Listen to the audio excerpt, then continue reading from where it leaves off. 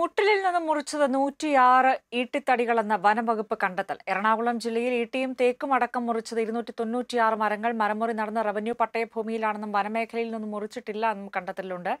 വിവരങ്ങളുമായി K G Kamlesh ചേരുന്നു. കമലേഷ് വനംവകുപ്പിന്റെ പ്രാഥമിക കണക്കുകളാണ് ഇപ്പോൾ ഈ പുറത്തു വരുന്നത് മരമുറിയുമായി ബന്ധപ്പെട്ട് എങ്ങനെയാണ് വിവരങ്ങൾ?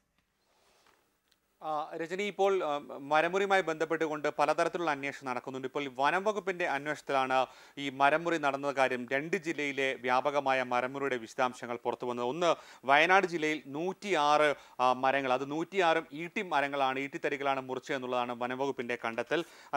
തൃശ്ശൂരിൽ തൃശ്ശൂരിലാണ് എറണാകുളത്തല്ല ഇരുന്നൂറ്റി തൊണ്ണൂറ്റിയാറ് ഈട്ടിയും തേക്കും അടക്കമുള്ള മരങ്ങൾ ഇരുന്നൂറ്റി തൊണ്ണൂറ്റിയാറ് മരങ്ങൾ മുറിച്ചത് തൃശ്ശൂരിലാണ് രണ്ട് ജില്ലകളിലെ കണക്കാണ് ഇപ്പോൾ പുറത്തു വന്നിട്ടുള്ളത്. ഈ രണ്ട് ജില്ലകളും മരമുറി നടന്നത് ഫോറസ്റ്റ് റിസർവ് റിസർവ് ഫോറസ്റ്റിലല്ല. അതായത് വനംവകുപ്പിന്റെ ഭൂമിയിലല്ല മറിച്ച് റവന്യൂ പട്ടയ ഭൂമിയിലാണ്. അതായത് വനത്തോട് ചേർന്ന് നിൽക്കുന്ന റവന്യൂ പട്ടയ ഭൂമിയിലാണ്.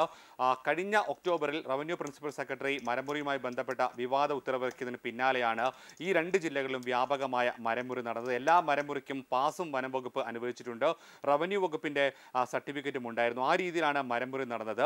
സർക്കാർ ഉത്തരവിന്റെ പിൻബലത്തിലാണ് ഈ മരമുറി നടന്നത്. പക്ഷേ എങ്കിൽ കൂടി മുറിച്ചു മാറ്റാൻ കഴിയാത്ത ഈട്ടി തേക്ക് പോലുള്ള മരങ്ങൾ കൂടി മുറിച്ചതിനാൽ തുടർന്ന് നിയമ നടപടികൾ എന്തൊക്കെ വേണമെന്നൊക്കെയുള്ള കാര്യങ്ങളും മറ്റ് ജില്ലകളെ കണക്കും ചേർത്തുകൊണ്ട് വനം വകുപ്പ് വിശദമായ റിപ്പോർട്ട് തയ്യാറാക്കി. ഇപ്പോൾ പ്രത്യേക അന്വേഷണ സംഘത്തിന് കൈമാറും. എന്നിട്ട് എല്ലാ അന്വേഷണ സംഘ വിവിധ വകുപ്പുകൾ ഏകോപിച്ചുള്ള അന്വേഷണ സംഘമായിരിക്കും ഇക്കാര്യത്തിൽ തുടർ നടപടി കൂടി ശുപാർശ ചെയ്തുകൊണ്ട് സർക്കാരിലേക്ക് റിപ്പോർട്ട് നൽകുക.